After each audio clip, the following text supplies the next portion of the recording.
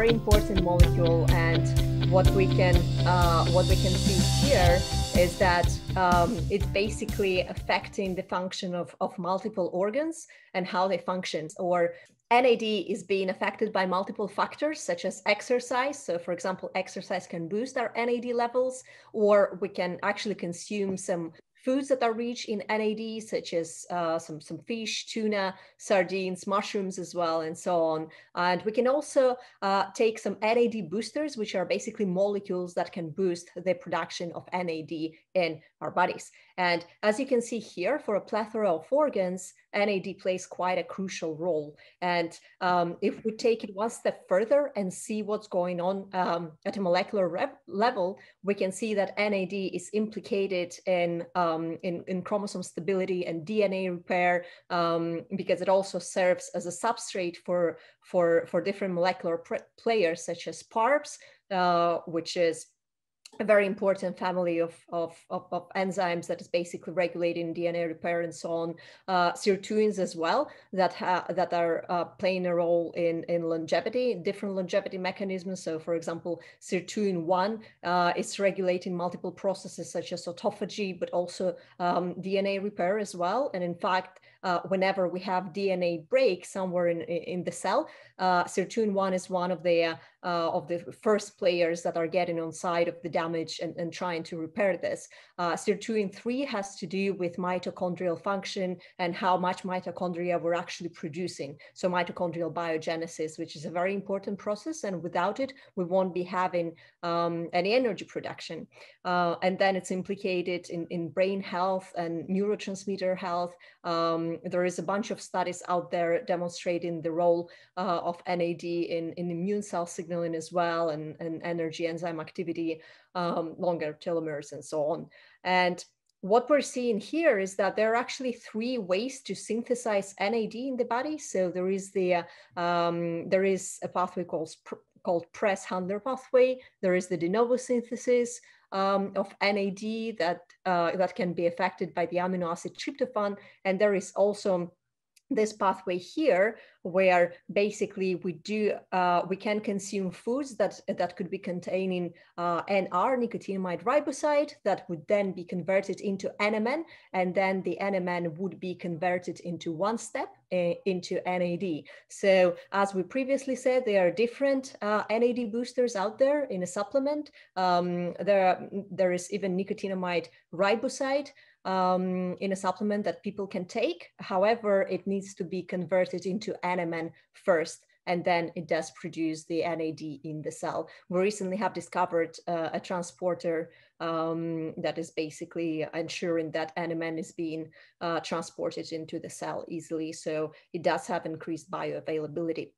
And, um, and what we're seeing here is that um, as it, it, basically orchestrates so many physiological functions. It's also very important to mention that uh, as we age, NAD is being decreased. And that's the primary reason why we actually need to, um, to, to basically supplement with an NAD booster to make sure that all of this essential processes in the cell are being um, taken care of and we do have enough NAD for everything to function well. So sirtuins, PARPs, and other other enzymes, they are using NAD as a substrate, as a fuel to function. And without it, they won't be able to do their job well.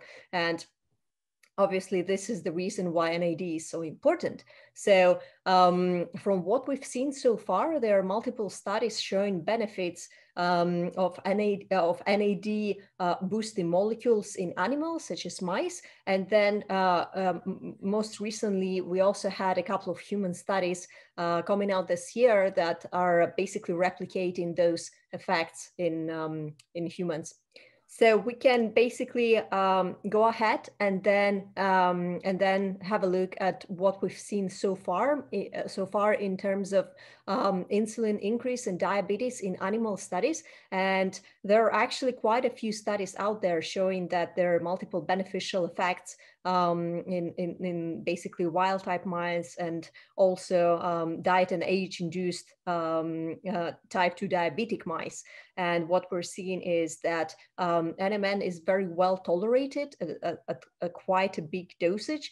Um, and then also they show uh, improved insulin sensitivity uh, as well as plasma lipid profile um, after long-term administration of NMN. And we're seeing here that after 12 months of NMN, um, we do have a significant uh, improved in insulin sensitivity compared to the body weight match control group. And not only that, but if we have a closer look at this study, we will see that there, there are uh, various factors that have been positively affected in NMN-treated mice, included, uh, including the, um, um, the age-related body gain that was basically um, that was basically improved because as we age, we we basically gain weight much easier because our metabolism slows down. Um, the energy metabolism, the, the insulin sensitivity were all affected, uh, as well as the lipid metabolism here. And then uh, scientists also shown that there, there, there were beneficial changes in gene expression and mitochondrial oxidative metabolism and so on, along with a couple of other symptoms, including eye function and bone density and so on. So this study was quite, um, uh, quite detailed and um, again, 12 months of, of, of, mouse life is actually quite a long time. So uh, this would equal to uh, many, many years of, of, of NMN supplementation in humans. Just for, just for, I'd worked with mice in the past and they would live mm-hmm. around two years, three years max. That, that's, yeah. yeah, some of the mice that we were using, yes. Yeah, that's correct. I think that a 34 uh, month old mouse is an equivalent of a 90 year old human, something right. like this. yeah, so um, if we go into human studies now, so there is um, there is a study that has been published uh, a couple of months ago uh, in pre-diabetic women uh, that showed that supplementation with NMN for uh, 10 weeks at um, only 250 mg of NMN on a, on a daily basis uh, in pre-diabetic, postmenopausal, obese or overweight women um, demonstrated that um, these women basically had increased insulin sensitivity and muscle remodeling as well. Um, they had an increase of NAD intermediates as well in their blood, um, uh, suggested basically higher NAD turnover. And what uh, what the um, the researchers commented on the study is that the improvement that they saw in muscle insulin sensitivity in this study is basically uh, similar to the improvement someone would see after 10% weight loss. So, for example, if you're um, if you're let's say um, 70 kg, this would mean that you would lose seven kg of uh, of body weight in order to see this kind of improvement. So, quite a big deal. And what uh, what they also saw um, in the muscle content as well is that there was um, there was no change in, in the content of NAD and nicotinamide, which is another precursor. However, what we're seeing here is that there was an, in, a significant increase in the intermediates of NAD, basically suggesting that NMN um, is, is basically absorbed and then it's increasing the overall NAD turnover, turnover in muscle tissue. So this is very, very good news because um, I heard someone arguing the other day that um, actually um, accumulation of NMN or nicotinamide would be toxic in cells. But what we're seeing is that we do have quite a rapid um, turnover and quite a rapid absorption of NMN, meaning that there is no toxic toxic buildup um, in tissues, and we only can see um, beneficial effects of NMN supplementation. Now, in terms of endothelial function and muscle benefits of NMN, um, there is something uh, quite interesting going on here because there is the um, uh, uh, we, we already know that there is um, a decrease of our uh, of our angiogen angiogenesis, which is the. Can I uh, interrupt for a second? Can you uh, tell the public, the audience, what is endothelium? What is endothelium, just for the information? Mm-hmm. So it's basically um, the endothelial cells are the cells that are related to our uh, vasculature that are making our our, our, our, our, arteries and, and, and so on. So it's basically cells that are um, that are essential for us to to create new arteries and so on. and new blood vessels. So um, what we're seeing here is that as we age, our ability to, to build new vessels and new arteries is decreasing. This would lead to decreased blood flow in different tissues, including the muscle tissues. And this is why we're seeing basically decreased um, decreased muscle retention as we age. So this is a condition that is called sarcopenia, which means that uh, we lose our muscles as we age. We lose our, our, our muscle mass. So what's going on here is that um, this phenomenon is uh, quite tightly related to the fact that we, we are not able to supply more blood into our muscles in order to maintain it. And this is, uh, this is why it kind of atrophies. So what we're seeing here is that with um, with supplementation with uh, um, with NMN or NR in mice, uh, which is the other NAD booster, is that we are boosting the ability of the body to create new vessels and new, um, new arteries and so on in order to support muscle function.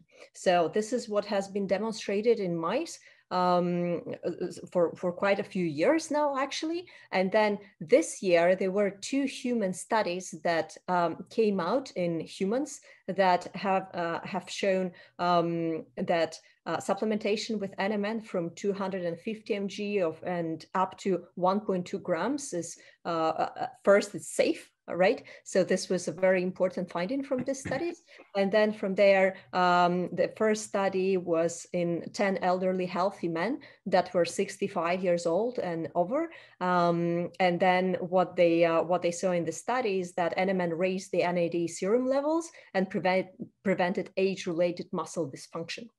Now, the second study was, um, was uh, a bit more interesting in my opinion. So they actually had uh, four groups of participants. One was a placebo group that was not taking any NMN, and then they had three groups that were taking either 300 uh, milligrams of NMN, 600 or 1.2 grams of NMN for six weeks.